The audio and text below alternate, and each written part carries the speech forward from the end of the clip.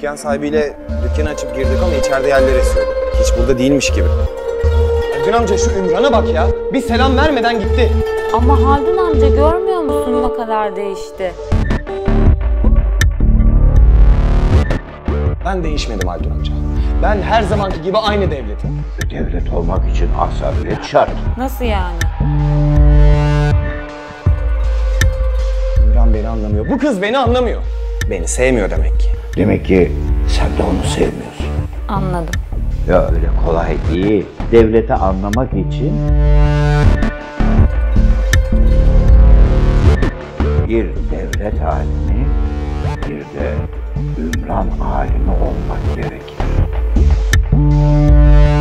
Toplumun devlet olabilmesi ümran ilmiyle mümkündür.